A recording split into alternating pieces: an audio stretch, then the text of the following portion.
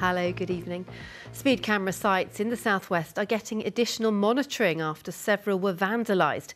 Road safety experts have blamed a small group who they've labelled conspiracy theorists for the attacks in Cornwall and say they're harming public safety. Three have been chopped down at average speed areas between Truro and Falmouth and near Helston. New cameras will be made more difficult to destroy. Spotlight's Heidi Davey reports.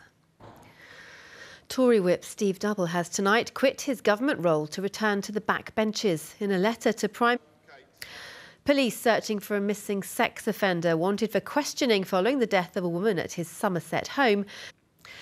Ambitious plans to build 10 luxury lodges at an hotel near Falmouth have been rejected by Cornwall councillors. There was fierce local opposition, especially as the site lies within an area of outstanding natural beauty. Tamsin Melville reports. The population of puffins has soared on Lundy Island off North Devon. Well, if you want more heavy rain, you are in luck. Here with the forecasters be. Thanks for your company tonight. Anna's here with your breakfast news from half past six tomorrow. Bye-bye.